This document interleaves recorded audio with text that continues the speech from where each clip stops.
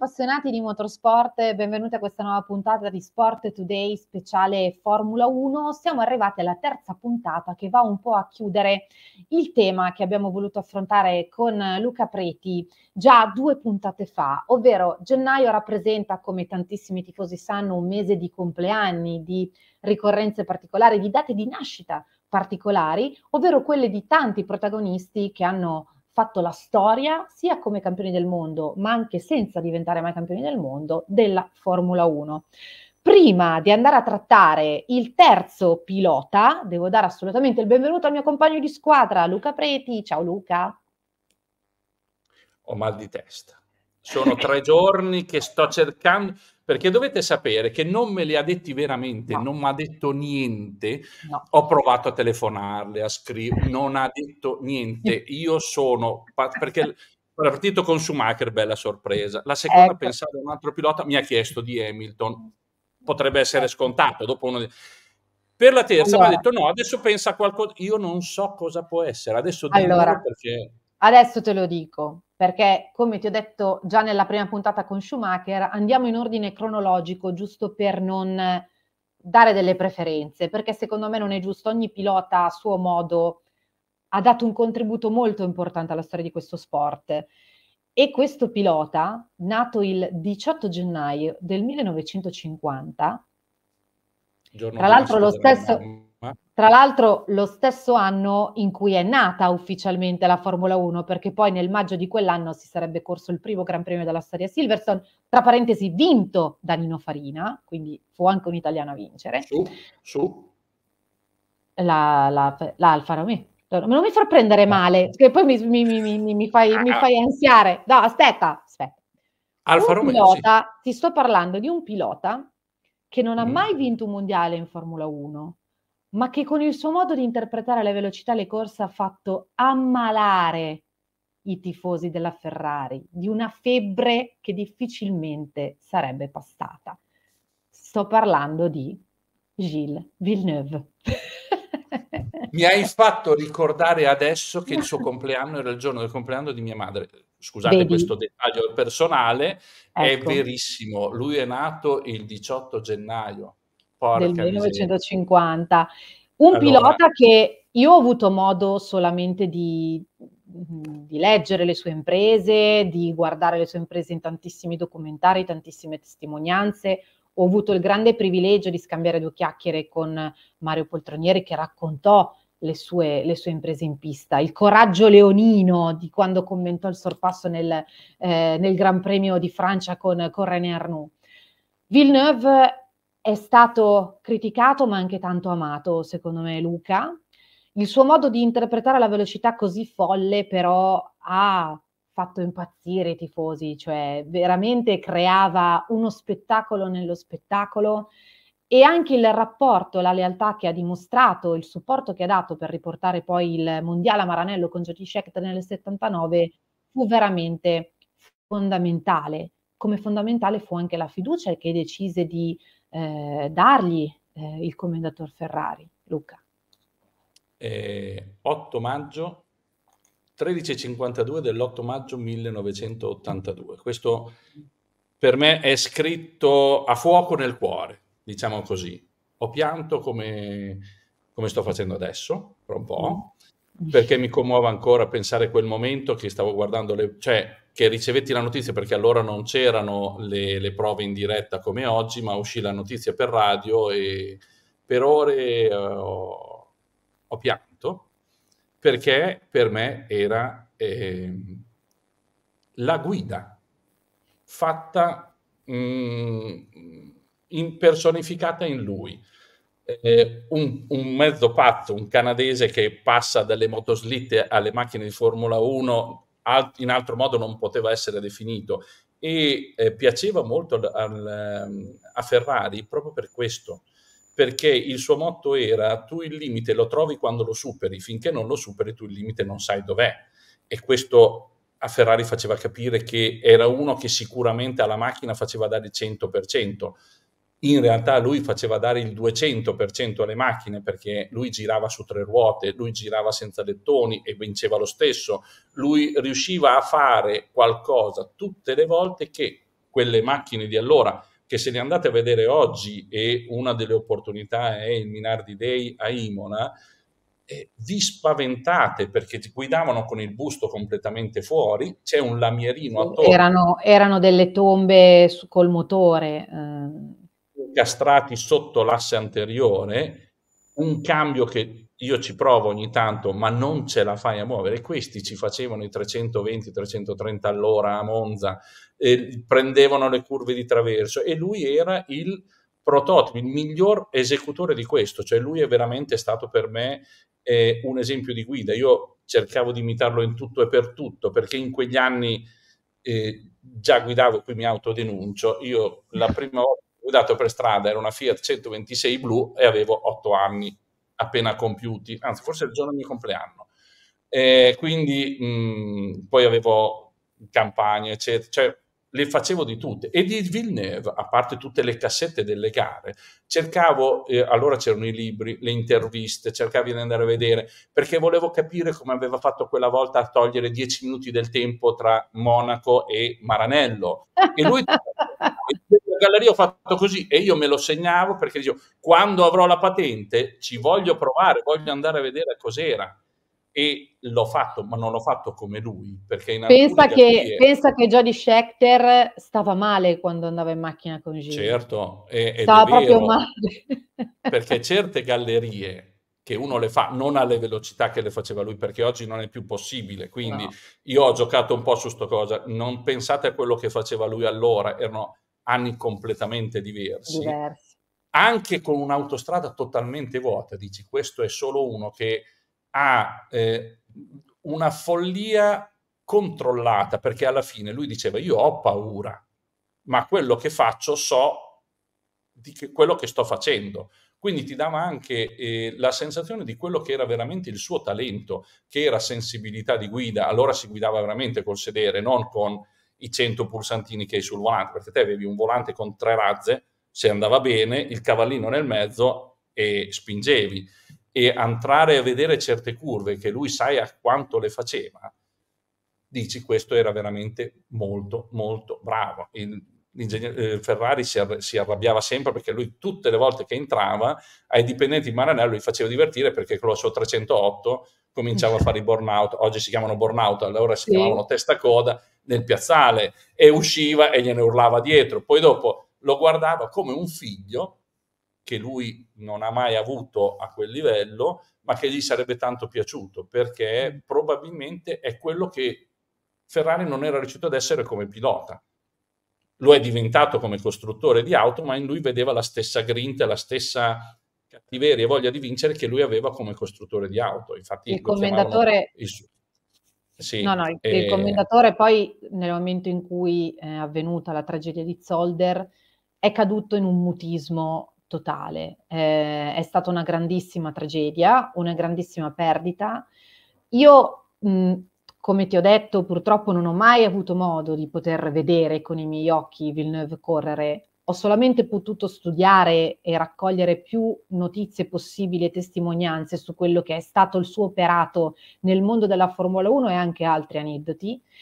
In occasione del quarantennale della sua scomparsa, con la testata motorsport.com abbiamo creato una serie di una piccola serie divisa in quattro puntate e una di queste puntate è dedicata agli oggetti che facevano parte dell'equipaggio no, di, di Gilles, quindi eh, la tuta, la cintura, le scarpette, il casco e ti dirò di più, abbiamo avuto modo, io e il direttore Franco Nunez, di andare eh, nella casa di Jonathan Giacobazzi, il quale ci ha aperto, sì, lui tra l'altro appena si entra in questa casa c'è subito la carrozzeria di una delle Ferrari di Gilles, molto impattante, molto emozionante, ma quello che mi ha emozionato moltissimo è stato vedere quegli oggetti che aveva in quegli attimi, in quei giorni, in, in quei momenti che poi hanno preceduto eh, quello che, che, tragicamente è accaduto. Ed era veramente una cosa da pelle d'oca, Luca.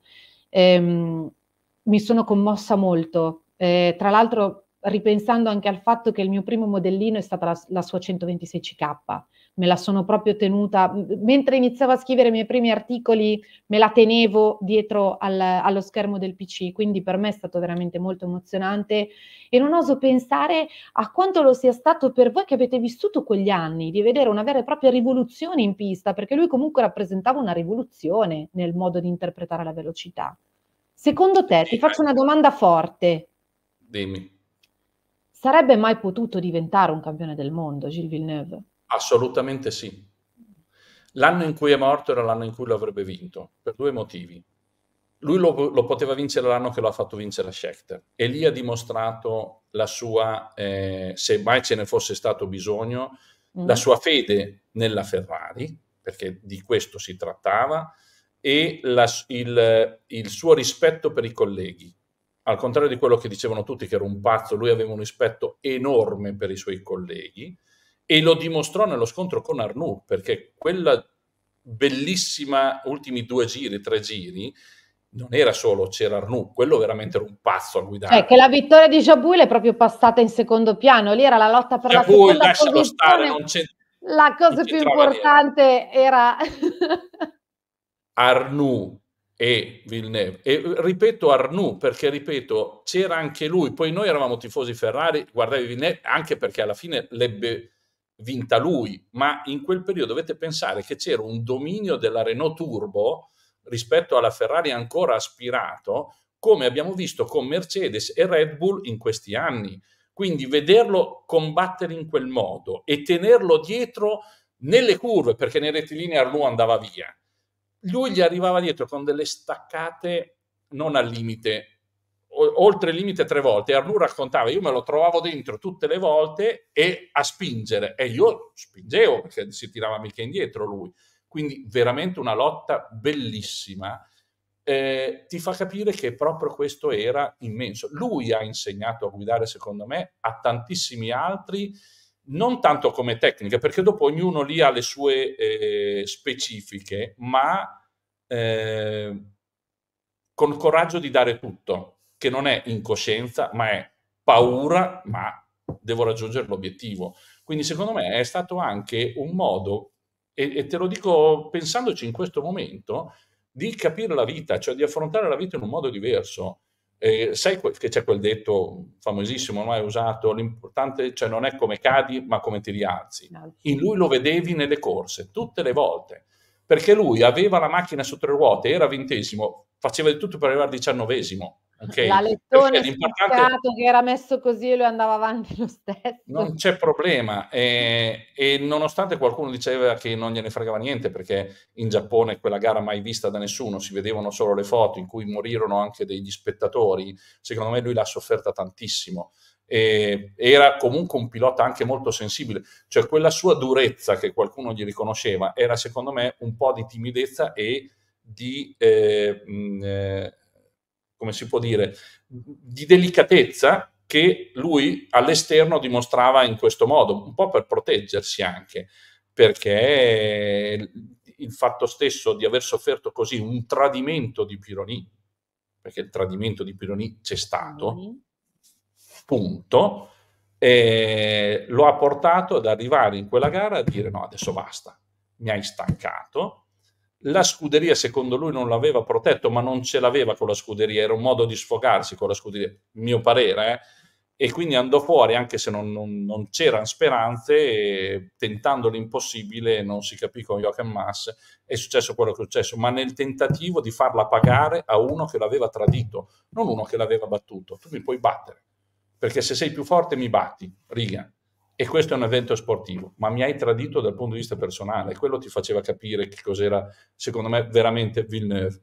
E maledetta quella volta che non si è capito, ma cioè, eh, non ci sono colpe quando ci sono incidenti così, ma lì ha sbagliato tutto lui, perché io che Mas, anche ripensandola mille volte, fece quello che si era sempre fatto, gli lasci sì, la traiettoria. Per dargli la traiettoria. Lui invece l'ha visto un attimo prima perché arrivava comunque da dietro molto più veloce, ha detto non si sposta, mi sposto io, quindi mh, non eri non concentrato ma non eri lucido al 100% perché il tuo obiettivo non era portare in fondo la macchina, era battere Pironi in un momento in cui avevi una macchina che non c'era e anche lì il fatto che non, la macchina non andasse è perché non l'avevi messa a posto, pensavi andare giù e tenere giù il piede, quindi ha sofferto molto quel tradimento. E io ti invidio tantissimo perché mi stavo per mettere a piangere prima mentre tu raccontavi della tuta e tutte queste cose a casa di Giacobazzi perché questo è un altro personaggio che andrebbe ricordato, poi un po' dimenticato, ma a parte aver rappresentato qualcosa nel marketing eh, che in un settore mai comunicato eh, fece una campagna di comunicazione del suo vino tramite un pilota e fu uno dei primi in quegli anni a usare un eh, testimonial sportivo. Allora in Italia non avevamo delle cose così, invece vi ricordate tutti il tutone bianco, bianco con Giacobazzi sopra, Giacobazzi dappertutto e Giacobazzi sponsorizzava Villeneuve. Poi appoggiava anche la Ferrari perché per carità erano tutti amici, eccetera, ma loro puntavano su Villeneuve. Allora si sponsorizzava il pilota che portava i soldi alla macchina, quindi eh, cioè, è stato veramente un'era e un personaggio che attorno a sé ha radunato tante di quelle cose che chi l'ha vissuta ha vissuto veramente qualcosa di unico e irripetibile. Molto di più di quello che abbiamo vissuto oggi e assolutamente sì, tornando alla tua domanda, questo sarebbe diventato un grandissimo campione del mondo, probabilmente per uno o due mondiali, non di più, un grandissimo campione del mondo e pur non essendo lo Stato è immortale per chiunque si avvicini alla Formula 1, perché la tua generazione non l'ha mai visto vivo, no? Tu sei postuma, e, postuma, e, però sapete tutto di lui. Eh, altri piloti a quei livelli non ce ne sono tantissimi, vero? Quindi... Eh... Beh, Luca, devo dire che questo, questa tripletta di puntate l'hai apprezzata. Adesso metto giù e mi metto a piangere come un ecco. disperato, vado a cercare mia libreria. Sì, guarda, no, non, tu, io, non è una battuta, per me, a parte eh. è un tornare indietro, tornare giovane e alle emozioni che vivevo, mm. eh, anche sul, sul, divano insieme a Enrico, così lo salutiamo Enrico, eh, che sono emozioni che non ritrovo più da diversi anni, capito? Perché piloti di quel calibro, forse c'è Alonso adesso, mm. eh, o Hamilton, che te le fanno rivivere, perché vedi il rischio ma calcolato, facendo perché sai quello che stai facendo. Certo. Okay? Non qualche spericolato che fa un numero, la volta che gli va bene viene il numero, la volta che gli va male distrugge macchine o, o butta fuori i piloti. E si vede, credimi, si vede, quando sono tanti anni che le guardi le, piste, le, le gare, si vede, infatti quando vedi certi giudizi, e poi ci fermiamo qui perché dopo apriamo il tema delle eh, perché il tempo stringe. e te ne accorgi, te ne accorgi e dopo lo vivi male, perché dici hanno penalizzato quello, non ci stava, perché si vedeva che stava facendo fare una cosa giusta, oppure non lo hanno penalizzato, ma quello ha fatto una stupidaggine. E chi ha guidato un po' in pista le capisce al volo queste cose. Quindi, preparati, per... preparati perché comunque nel corso di questa pausa oramai breve, perché tra poco ci siamo, si iniziano a presentare le macchine, poi ci saranno i test, comunque nel corso di questa breve pausa eh, invernale prima della stagione 2024 ti farò ti stupirò perché vorrò affrontare tante cosine storiche, sono sicura che anche per i nostri amici, anche i più giovani che ci seguono, saranno sicuramente delle pilloline di storia molto molto interessanti. Fateci sapere soprattutto se avete un tema in particolare che volete che trattiamo nelle puntate. Ormai sei diventato il mio compagno di team, è ufficiale, ti, ti presento come compagno di squadra. E eh dai, parliamo di Formula 1. Che succede? Un attimo, puoi ripetere? Cosa? No, ho perso l'audio un attimo, ti scuso. Ho detto, oramai sei diventato il mio compagno di team, perché parlando di Formula 1 è normale che io ti chiamo sì. compagno di squadra e non eh, semplicemente collega. Ah, va bene, va bene. Eh, va bene? Ti, Quindi... ti, ti ringrazio perché non mi hai detto il mio team manager o quello, il vecchio che sta dietro il box, ma uno che guida ancora. Eh no, Anzi, perché guidiamo tutti e due, guidiamo tutti e due. Infatti ti invito perché io sto cercando di fare qualcosa per andare al mille miglia. A proposito di auto storiche, ragazzi, il mille miglia quest'anno passa dall'altra parte, quindi passa anche da regioni che erano anni che non passa. Andatele a vedere perché si vede, se avete un po' di passione per i motori vedete delle cose meravigliose. Noi faremo di tutto per esserci. Tu ci sei se ci andiamo, vero? A fare una tappa almeno. Mi devo un attimo dividere per ancora... ancora Tanto passiamo da casa tua, vicino a casa tua anche. Va bene, vi aspetto. Intanto, cari amici, io vi do appuntamento alle prossime puntate, ovviamente anche con Luca. Vi ricordo che poi ci sarà nella giornata di mercoledì la puntata eh, con l'ospite. Avrò con me Diletta Colombo di automoto.it per andare un po' a parlare sia di temi attuali che non eh, di quello che sta succedendo, insomma, nel mondo della Formula 1. E caro compagno di squadra, ti do appuntamento alla prossima puntata di Sport Today. Mi raccomando, amici, seguiteci, scriveteci nei commenti tutte le vostre richieste, i personaggi personaggi che vorreste che magari noi eh, andassimo a trattare, qualche aneddoto storico che volete, insomma, che noi vi, vi raccontiamo, seguiteci, iscrivetevi al nostro canale e non perdetevi i nostri prossimi video. Ciao a tutti, ciao Luca. Ciao, ciao, ciao.